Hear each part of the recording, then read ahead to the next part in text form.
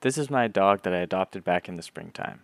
He's really the best dog you'll ever meet. He's super friendly, super trainable, very nice, usually very quiet, and just overall an amazing, amazing boy. Uh, I'm sure every owner says that about their dog, but I really think it's true when it comes to mine. Um, the only thing is, he has some separation anxiety. Um, I got him in the middle of the pandemic, and I've been working home from home full time, and he got very comfortable with that. So when I would leave the house, he would just sit by the door, wait, and howl and be anxious and upset. And you won't see that in this clip here because I've since uh, trained that out of him. And the way I did that was by designing an automated treat dispenser using some Python and Arduino, some 3D printed parts, and a couple servos so that I could train him to be more happy and comfortable with being alone uh, while I'm out of the house and have it all be automated essentially. The basic idea is that I would need a way to detect sound in my apartment so I could listen to him, make sure he's being quiet, and then reward him by dispensing a treat so that he would get more and more comfortable with being alone and being quiet. Without further ado, let's get into the design. So this is the first iteration of my treat dispenser design. You can see it's essentially a tall tube that fills up with with uh, treats, pieces of uh, kibble, in the case for my dog because he's not too picky. And I use one servo to open and close at the bottom and dispense treats. Um, there's this big chunky stand piece here to just make sure nothing, it doesn't topple over or fall over with the servo uh, vibrations and things like that and the weight of the kibble. And then there's also this inclined plane piece here so that when the kibble falls out of the tube, it hits that 45 degree plane, uh, bounces out, basically gets some horizontal velocity and kind of shoots out that way instead of just uh, falling straight down. Um, I thought that would be a little bit better.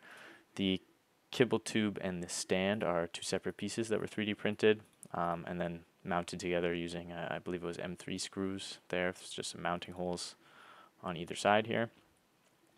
And yeah, so the thing was using the one servo was not very reliable, reliable um, control because you know basically the idea is that this this servo arm just open and closes like a gate, opens to release a treat and then closes again to block them. But when you only have one servo, um, it's very difficult to reliably get one treat out at a time.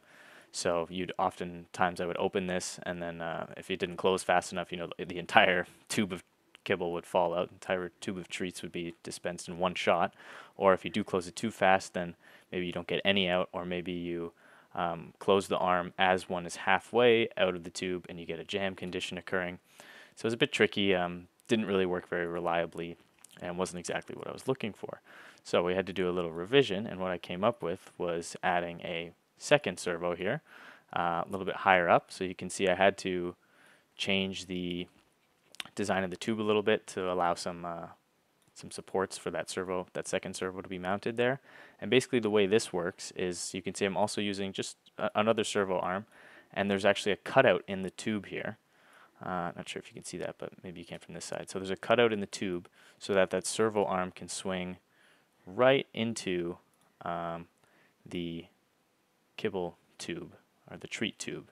And how this works, um, kind of like an airlock, is that this first, this uh, sorry, the new servo, the second servo, um, arm clamps the piece of kibble that's basically second in line. It clamps it in place then we open the bottom, dispensing the piece of kibble that's immediately below that, the, the first kibble, uh, the one that's on deck basically. That dispenses out. Then we close the gate again, and then we open the second servo so that the whole stack can shift down one, and we just repeat that process every time we want to dispense.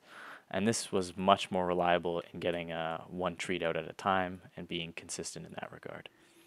So here are the 3D printed parts um, assembled and ready to go. You can see there the stand on the bottom and the tube that will hold the kibble and then those are the two spots where the servos mount.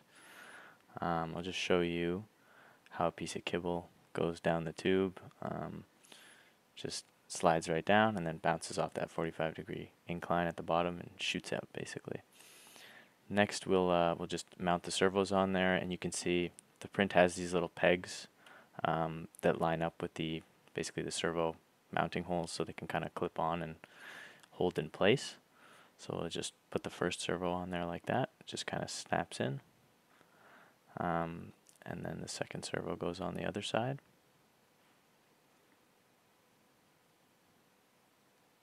And then you can see here on the back that cutout that's in the tube for the second servo to reach in with the servo arm. And as you just saw there, they are a bit loose. They don't, they're not very snug or um, tightly held in place by those pegs.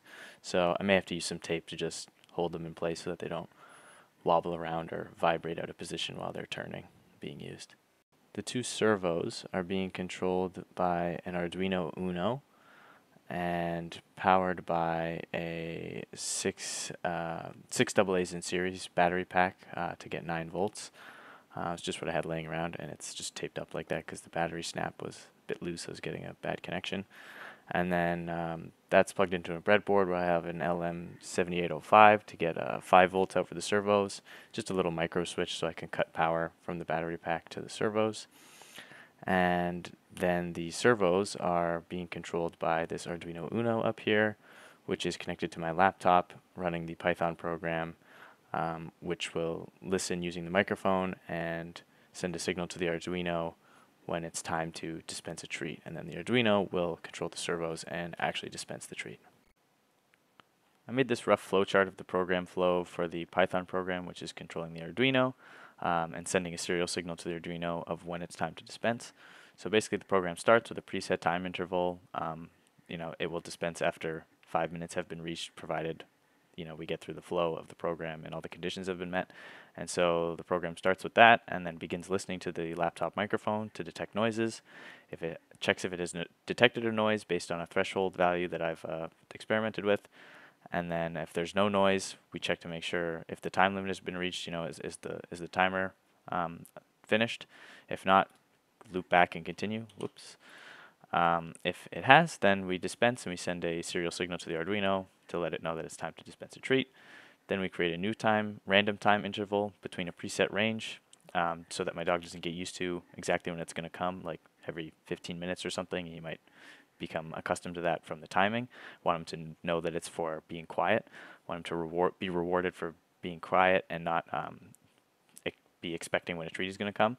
So this started off with between like five and ten minutes. Now he's much more comfortable. So I, I have I think I have it set to like between 20 and like 45 minutes, um, the random time interval.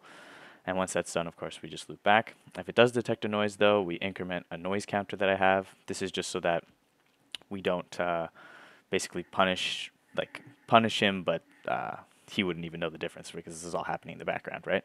Um, we don't want him we don't want it to reset the program if just he makes one noise the problem is if or, or if you know somebody bangs on the neighbor bangs on the window or somebody knocks on the door and somehow that triggers the noise counter uh, if it's too loud so i want to make sure it's only triggering if he's consistently barking or howling. So we have a noise counter there. We check if it's reached the limit. I think the limit is like 10 that i have set. That just seemed to be what worked for me uh, or worked for the, the program. And if it hasn't reached the limit, we just continue as usual. If it has reached the limit, then we reset the time to a shorter interval that's preset in the program. So basically, if it was originally going to dispense in like 20 minutes from now and he couldn't make it all the way, he got anxious and he started howling or whatever, then we reset to something shorter like five just to kind of build up that uh, that gradual build of, of uh, getting him comfortable. And one thing that's not mentioned here is um, after this, the noise counter is also reset, and we just continue back to the beginning until all the treats are gone. Um, the program will keep running, of course, but nothing will be dispensed. Here is the treat dispenser fully loaded. You can see there's kibble all the way to the top of the tube. And I'll just show you what it looks like when it actually does uh, a dispense of a treat. So you can see the servo motion I was talking about before second servo goes first, then the first one, and we get that one treat dispensed, and then the next one's ready to go. And you can see that uh, when this happens, right, it dispenses one at a time, just like we wanted, and then the rest of the stack shifts down, uh, just from gravity slides down. So sometimes I can get jammed, but yeah, works pretty well. And actually, you can see right here the uh, the next kibble got stuck, so I got to give it a little tap tap, and then it came down. So not the most reliable, but it does the job. Here's my dog. And he's very patiently waiting for the dispenser to give him something.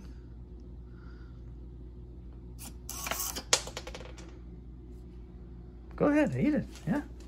Good boy.